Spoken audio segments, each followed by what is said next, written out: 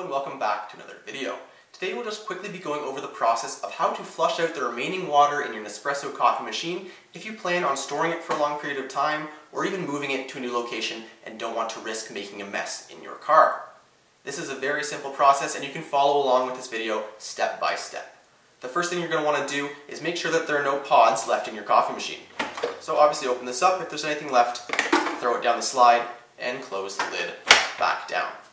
Next thing you're going to want to do before starting the process is to completely empty out your water tank. We want to flush out what is remaining in the system, no sense feeding it any more water.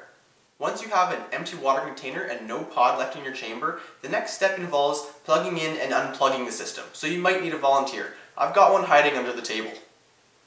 You might be able to manage this on your own, completely up to you. What you're going to do is completely lock the machine by turning the levers to the right, and then unplug the machine. Machine unplugged, you will press and hold the top button, then plug back in the machine, and once it is plugged back in, release the button. Now, the top light will begin blinking rapidly, and it will immediately begin flushing out any remaining water left in the system.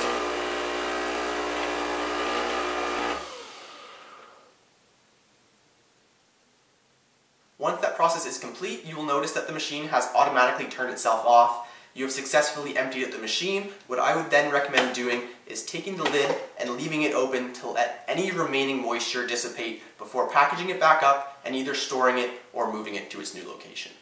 So, I hope this video was helpful for you guys. I hope that you learned something. If you made it all the way to the end, please consider leaving a like or even subscribing if you want to see some more videos like this in the future. Thanks for watching, and I'll see you in the next video.